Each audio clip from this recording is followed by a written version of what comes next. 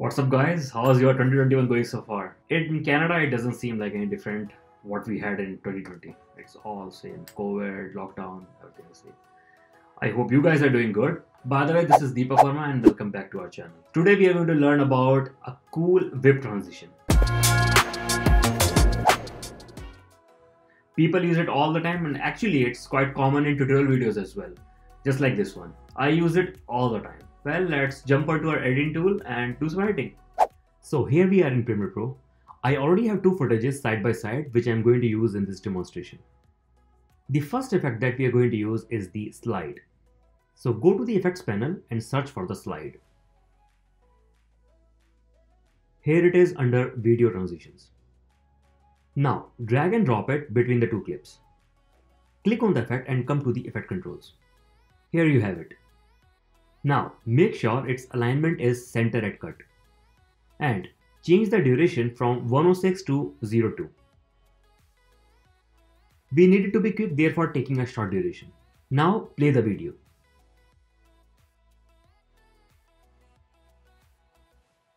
So slide is happening and it's happening quite fast and that's what we want.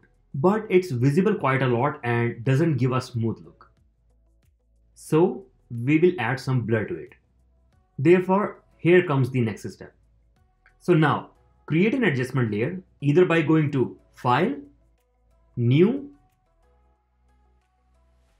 and Adjustment Layer, or simply do it from here. Click it. I'm good with the settings. Hit OK. So we have our adjustment layer. Now let's drop it above the clips. So first, come in the middle of the two clips. Go two frames left and cut.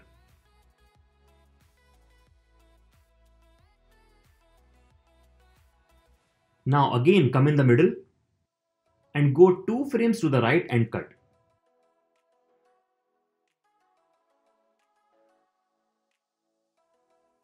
Well, we are done with the adjustment layer. So now it's time to add another effect. For that, go to the effects panel and search for directional blur. Drag and drop it on the adjustment layer. Now, go to the effect controls again and look for directional blur. So, first go to the beginning of the adjustment layer and hit the toggle animation for blur length. It will add a keyframe with zero blur length. Now, go to the middle of the two clips and add another keyframe. But this time change the value to around 150. And finally, go to the end of the adjustment layer and click the reset parameter. It will add another keyframe with a default value that is 0.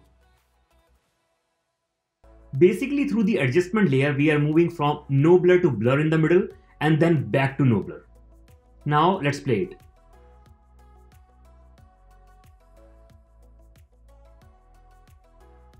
No, that's not we wanted. Blur is coming in a vertical format.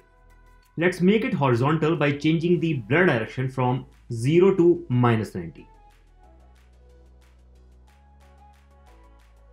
Now let's play it.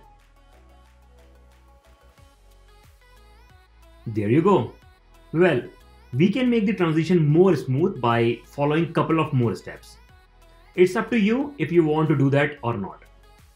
So for that, Let's go to the effect controls. Select the starting keyframe of directional blur, right click and hit ease out. Now select the last keyframe and do ease in. And finally, right click on the middle keyframe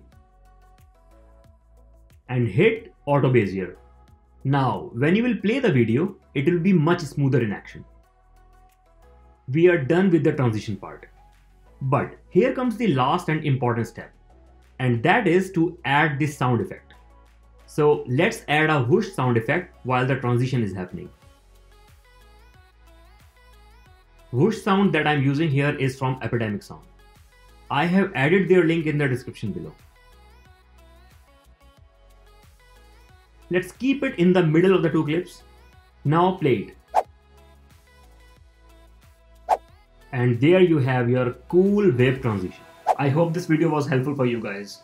If it was in any way, give a thumbs up or leave a comment and make sure to hit the subscribe button if you're new here. Thanks for watching. I'll see you in the next one. Until then, bye-bye.